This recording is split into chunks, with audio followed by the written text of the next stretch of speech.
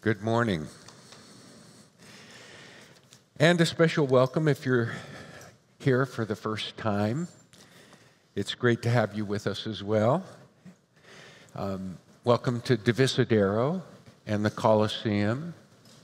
I think we're growing a little fond of Divisadero. It's kind of like camping out or a picnic in some ways, but our heart really is it.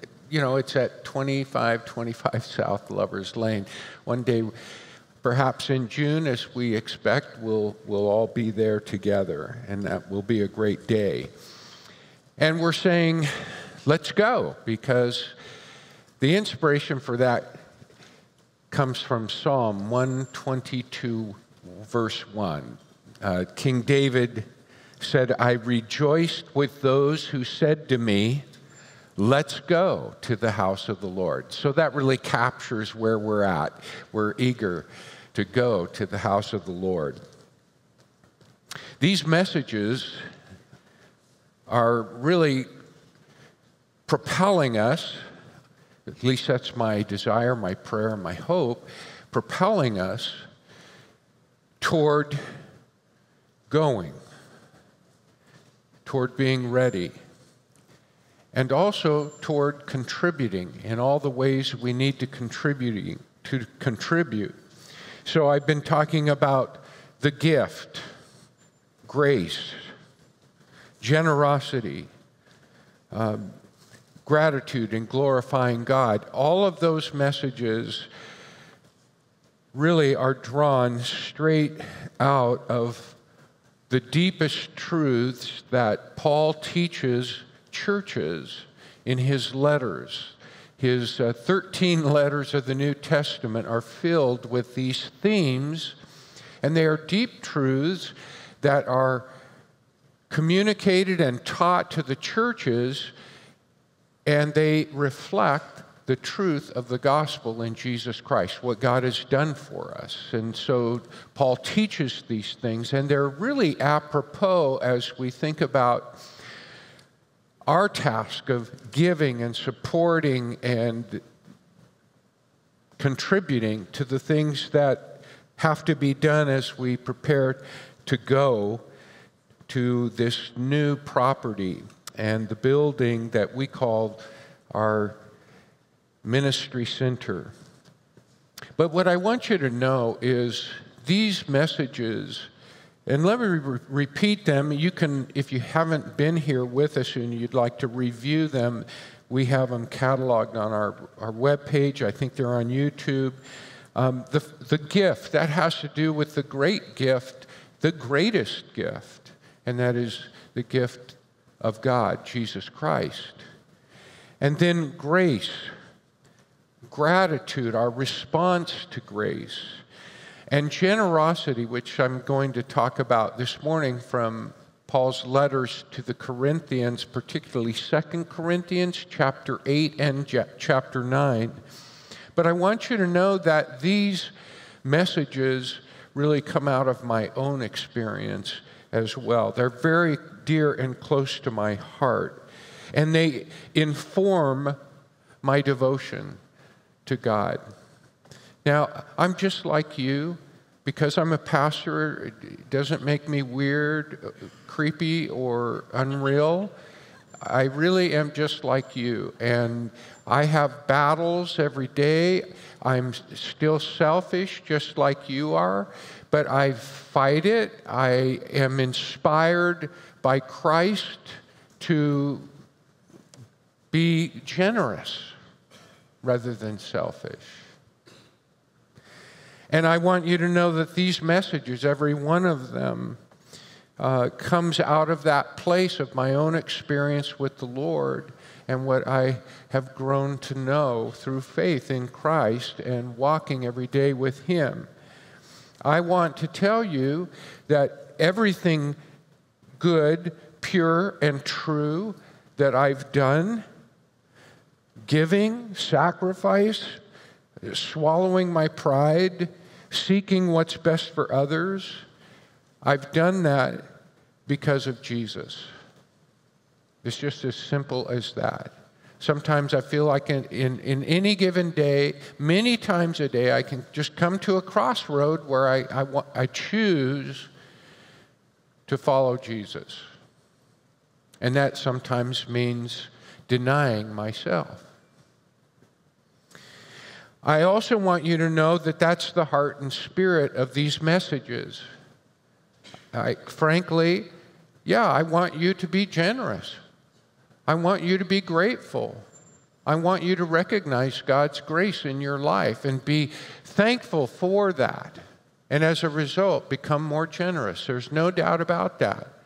But not just because of a certain amount of money. It's because I'm invested in this because this is for all of us. This is the way we've got to be. So that's the heart of these messages, and it's the source of what we commit to the Lord and what we commit to Let's Go. When we commit next Sunday, on Commitment Sunday, which is generally First Fruit Sunday for us because we always dedicate November to the giving of our first and our best to the Lord. Well, today's message is on generosity.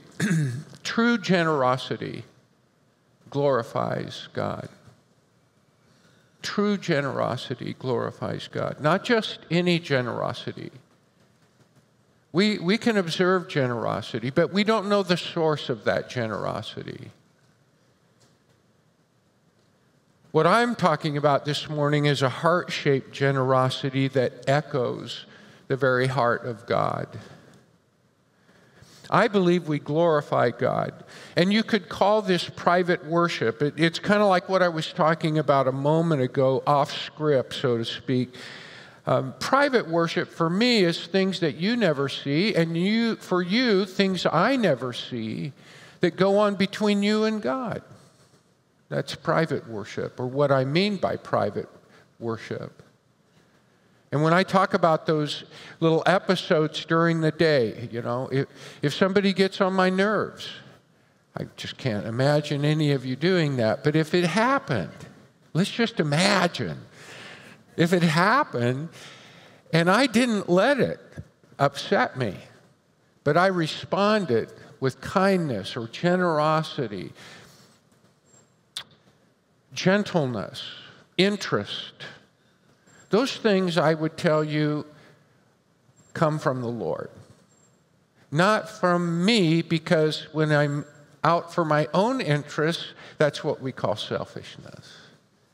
And when we're selfish, then we're choosing things for ourselves, not for others. And we're upset when others appear to crowd us or get more than they deserve or something that we deserve. So I believe we glorify God when we love others because of God, because He loves us, because He taught us how to love. Or when we give because God gave so much.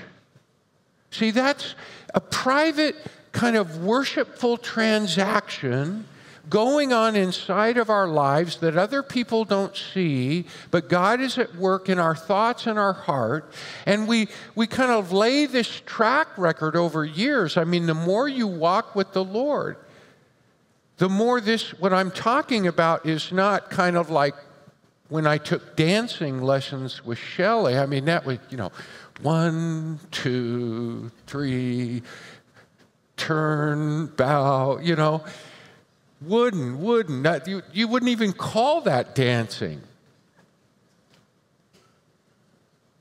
But when we're walking with the Lord on a regular basis, yeah, we develop this conversation, this communication with the Lord.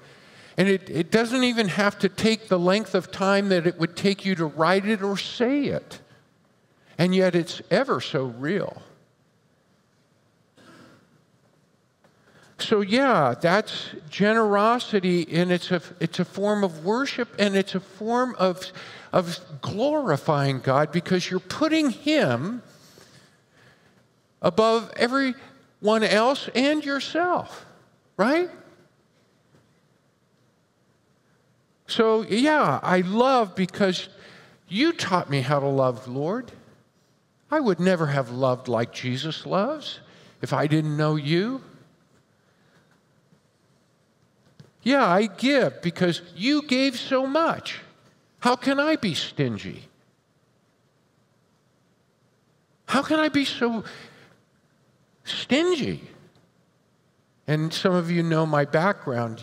You know, I grew up, hey, there are, there are no free lunches. Money does not grow on trees.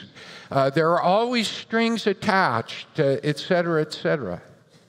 No, I didn't learn how to give or be generous in my home. I learned it in the Word of God and in His church, among His people, and with a wife who is very generous, who came from a long time family of believers and followers of Jesus Christ. Or we sacrifice because the Son laid down his life for us. All those things and more. We could all share stories. But it glorifies God when we do that because of Him. I read in a, in, in a book written by Mark Dillon, I read this Warren Buffett was interviewed about his $26 billion gift to the Gates Foundation. $26 billion gift. I had to, I had to reread that. And this is what Warren Buffett said My gift has not changed my lifestyle one bit. I still go to the movies I want to go to, and I eat at the restaurants I want to dine at. But what about the person who gives a gift that requires they can't go to the movies or eat at the restaurant they choose? And Buffett said, they are the true givers, the true heroes of generosity.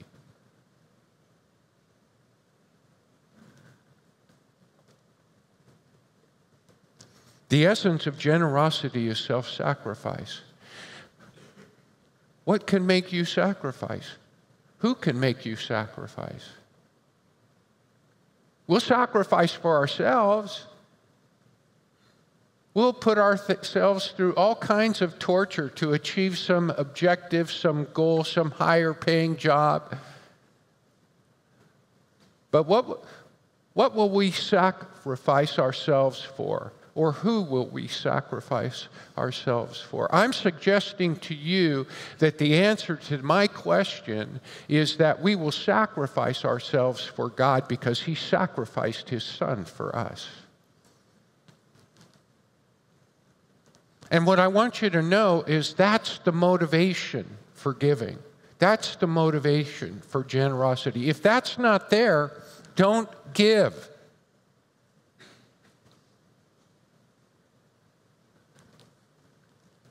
But if it is, then you may ask, why am I not giving and giving more?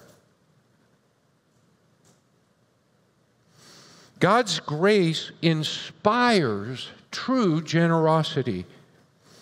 This is what I, I want to read to you. This is just from the eighth chapter, and it's going to be seven verses verses one through five, and then verse seven and eight.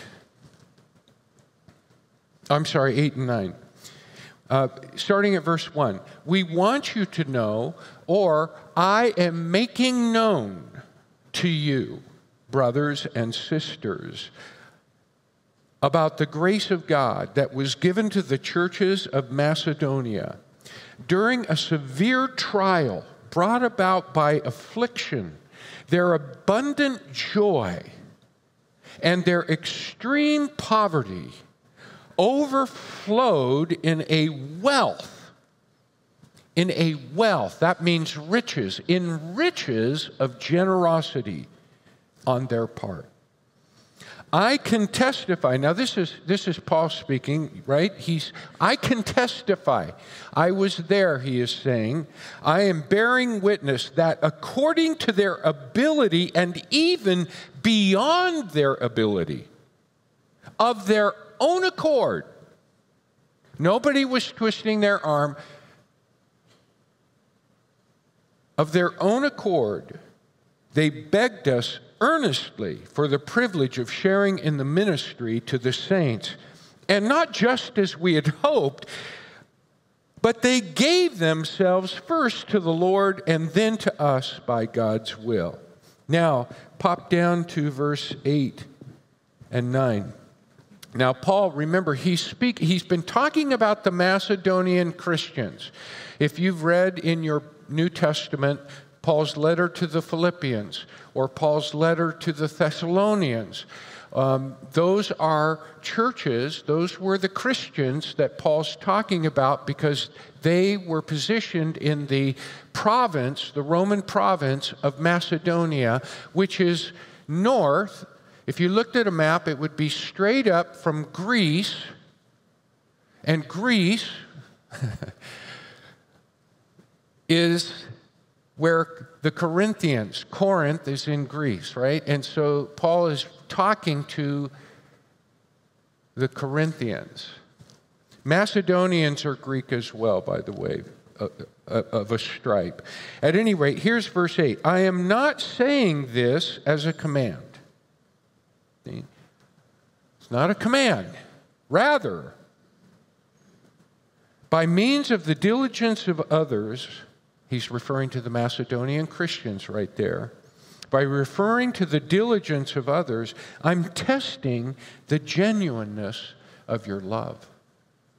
That's, that's pretty bold, don't you think? I'm testing the genuineness of your love. So, what does he say next? I mean, this lays things bare. This is about motives.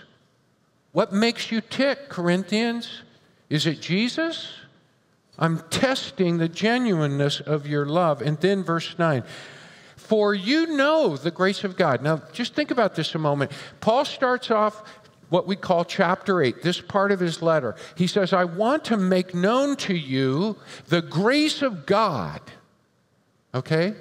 I want to make known to you the grace of God that is, has been given by God to the churches of Macedonia. The grace of God is what this is all about. Don't lose sight of that. Now, notice what he says to the Corinthians right here in verse 9. He says, You know the grace of our Lord.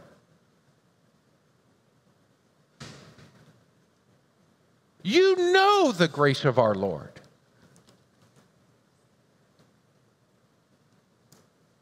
Though he was rich for your sake, he became poor so that by his poverty you might become rich. He grounds it in the gift. See that? That's the gift. When Jesus Christ divested himself, we saw this in Philippians 2 when we looked at grace. This is like the entire second half of Paul's chapter, verses 6 through 11 where he talks about Jesus being equal with God, divesting himself of all riches, humbling himself, taking the form of a slave, and being obedient unto death. And then his name being raised, the name above all names. Well, that's it right there in verse 9. He grounds the grace of God in what Jesus Christ did for you and for me and he's testing their love as to whether they really get it. Now, I want to, to the, the grace of God, there's a paradox here.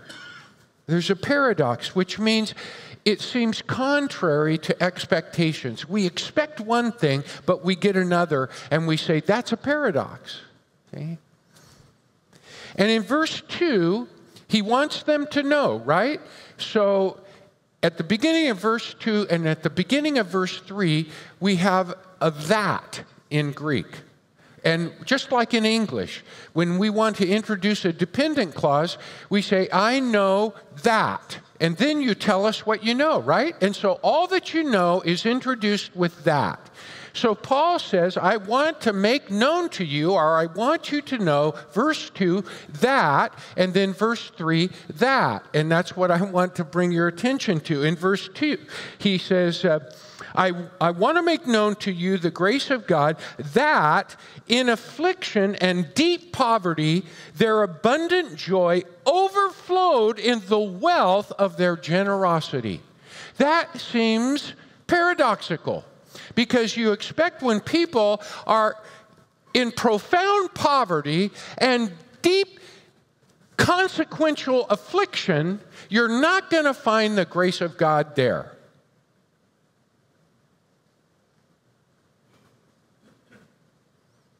And Paul says, it's just overflowing.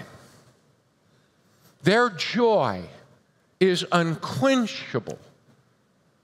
It's like a fountain that can't be staked or stopped. And then in verse 3, I want you to know that beyond their, now in this translation it says ability. Another translation might say means. Those are all good translations. The word is power.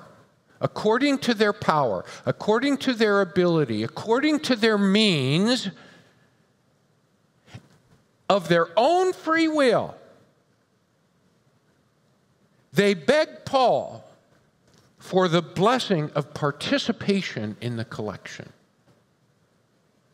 Don't leave us out, Paul. We want to be a part of this.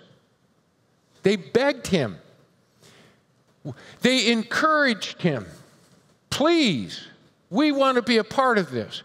We want to be a part of the grace of God that's at work between the churches who belong to the God of grace, who belong to Him because of the gift of grace, Jesus Christ our Lord. And then in verse 4, to Paul's surprise, they did this, he says. Remember, he's, he's talking to another church. He says, they did this by first giving themselves to the Lord and then to us by the will of God.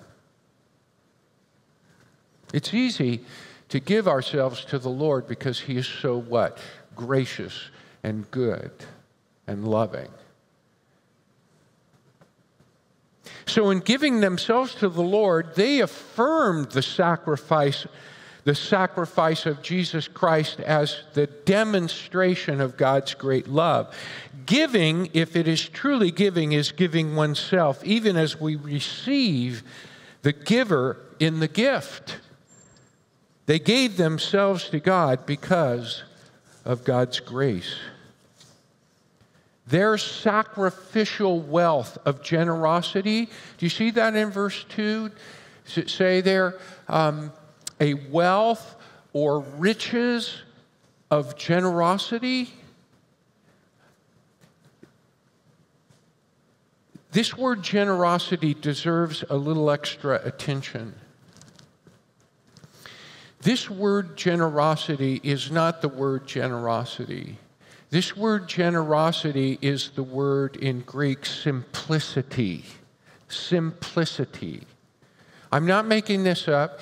There's just no way to really convey the nature of the word simplicity in translation. And so the closest thing, generosity comes out of this simplicity. And this is simplicity that is rooted in the grace of God. Let me try to illustrate it like this. They were rich because of God's grace, they were rich,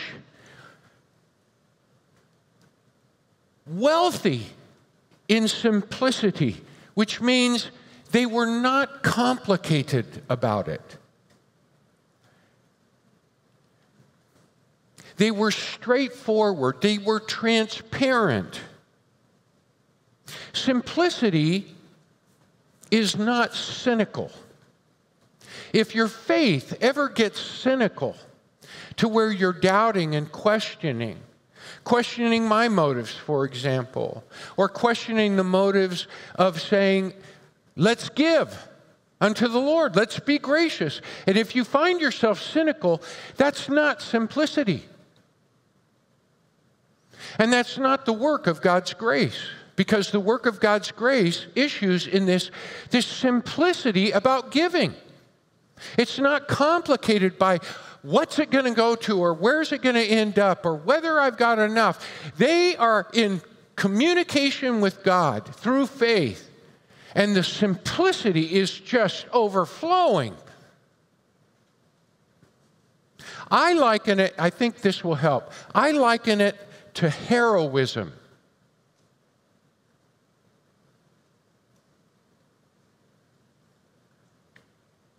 Heroism is selfless, it's daring, it's generous, it's sacrificial.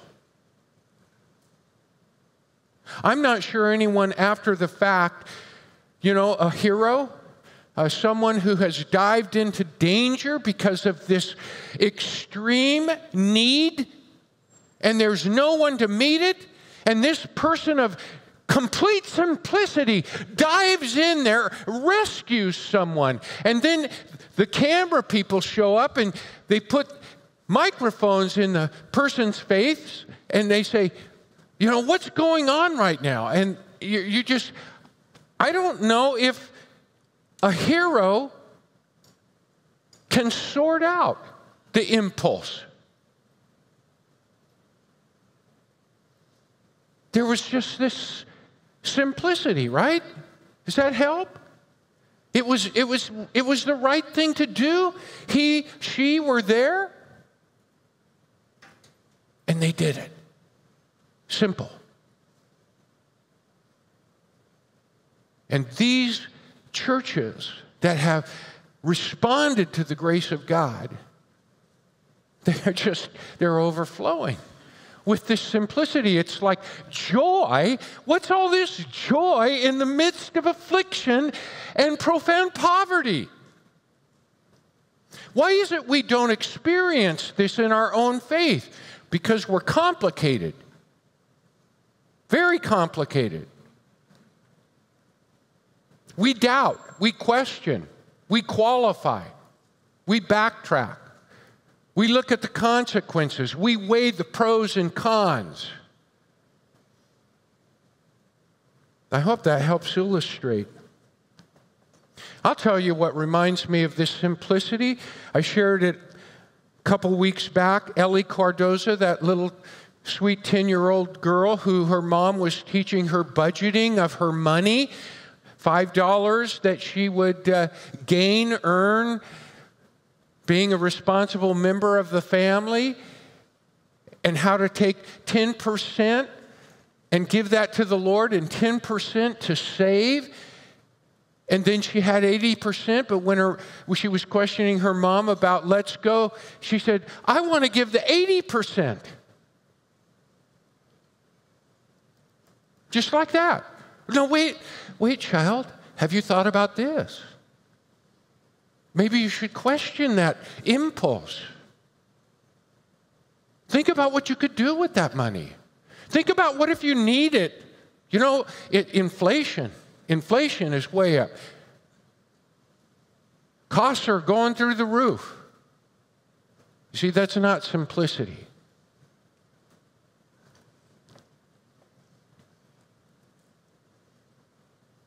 Ellie gave freely, sincerely, of her own accord, and from what was a gift to her. It sounds just like the grace of the Macedonian Christians that they acknowledge is theirs because of God's great grace and love. The riches of their simplicity means their act of giving is the work of God's grace. God participates in this. And we see this in chapter 9, verses 6 through 15. God participates in the blessing of true generosity. Let me read some of this. Chapter 9, starting verse 6. The point is this, writes Paul. The person who sows sparingly will also reap sparingly, and the person who sows generously will also reap generously. Each person should do as he has decided in his heart, not reluctantly. You see, that's complication. That's complication right there. That's not simplicity. Not reluctantly or out of compulsion. Compulsion, reluctance, those things are comp- complex. Complexity, not simplicity. So he's, he's saying it should be simple. Since, here's the reason, since God loves a cheerful giver. And this last week, I don't think I, I had assumed what that meant, but I just, as an exercise, I asked myself, John, why does God love a cheerful giver? And the answer to me is this because God is a cheerful giver. He loves a cheerful giver because he's a cheerful giver. And a cheerful giver looks like a cheerful God. As it is written, oh, he says, verse 8 God is able to make every grace overflow to you so that in every way, always, having everything you need, you may excel in every good work. That's a lot of every right there. As it is written, he distributed freely, he gave to the poor, his righteousness endures forever. Now, verse 10, this is very important. Now, the one who provides seed for the sower and bread for food will also provide and multiply your seed and increase the harvest of your righteousness. You will be enriched in every way for all generosity. But again, it's the word simplicity here. Which produces thanksgiving to God through us. For the ministry of this service is not only supplying the needs of the saints, but is also overflowing in many expressions of thanks to God. Because of the proof provided by this ministry, they will glorify God for your obedient confession of the gospel of Christ and for your generosity in sharing with them and with everyone. And as they pray on, you know, it's really interesting when he says, let me back up there, verse 13. They will glorify God for your obedient confession of the gospel of Christ. Their generosity is a confession of the gospel of Christ. The, the, the, the act that is being described there is an act of giving. But Paul signifies it as a confession of the gospel of Christ and for your generosity in sharing with them and with everyone. And as they pray on your behalf, they will have deep affection for you because of the surpassing grace of God in you. Thanks be to God for his indescribable gift, which is referring to Jesus. I didn't know I was going to talk this long, so I've got to cut some stuff. Let me see what I should talk, cut. I wanted to, back in chapter 8, this letter, you know, it, has got verses and chapters and things, but Paul has a running thing that he's doing when he's writing a letter like this, and we understand that because we do the same thing when we write a letter. But back in verse 13, verse 13 of chapter 8, pardon me, verse 15 of chapter 8. He talked about how God cared for his people. They were all out in the wilderness, right? He had them right where he wanted them in the wilderness, and he took care of them generously and miraculously through the manna. Okay? But now, Paul, he uses a very basic, I mean, everyone would be familiar with agriculture. Their survival of, of the entire race of people depends on sowing and reaping, right? Agriculture. We should know. We're ag people here. Or at least we see it, even if we're not doing it. But we know if we plant something in a pot or we garden in the backyard. Paul is drawing on this fundamental principle. He says, You don't reap what you don't sow. Now, this seems contrary to the spirit of the manna, which was miraculous provision. And so now Paul leads the readers and us. Is he trying to say that numerically, we're not going to get a very big. I mean, those are the mechanics of agriculture. Yes, he is. He's talking about the mechanics of agriculture. We know that's like a calculation. You know, you only get out what you put in. But now Paul pushes it a little bit further because he's trying to stress who our God is. And in verses 10 and 11, he says, our God supplies the seed for the sower. It's not just a transaction of sowing and reaping. God's in this from beginning to end. He has His gracious hand in every success, in everything of life. He supplies the seed for the sower. And it's only then, you see, when we see it from that standpoint, that when we give, just like when a sower sows and a gardener gardeners, gardens. This is hard work up here. You, can, you, you don't expect me to be perfect. But, you know, when, when we enter into giving, we're entering into the work of a farmer when that farmer sows. You see? When we give, we're entering into the work of a gardener because what we sow is God's to begin with, and it will bring a harvest. It real, will bring a return.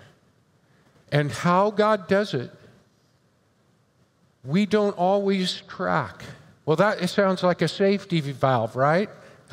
of course, I knew it was coming. We won't know. You know, it won't be like a check in the mail. But you see, that's that cynicism that has no eyes to see God's grace everywhere. And the more we give, the more we acknowledge His grace, the more we're grateful. The more we're grateful, the more we're generous. The more we want to honor and glorify such a gracious God because we see His grace in our life all the time, not just in terms of our pet projects and purposes we see His grace in the people He brings into our lives. And when we reflect, even from a position of coming to Christ and we reflect on our lives, we go back and we see grace and God's hand in our lives that we didn't witness at the time. This is the grace that Paul's talking about. This is the simplicity that is joyous and generous. And it is this and the basis of this that I'm saying to you. Don't give what I think you should give, you give what God thinks you should give. Pray. Pray. We've got Commitment Sunday coming up next Sunday. And there are these cards back there. Would you take one today? Take it with you. You don't have to put anything on it. I'm just saying, take one and give some time to praying. Be thankful Ask God what He would have you. There's three categories there's a courageous gift. I'll, I'll be frank with you. Shelley and I have given half of my annual salary. That's a courageous gift for us. Yours might not be that big, it might be bigger. There's consistent giving.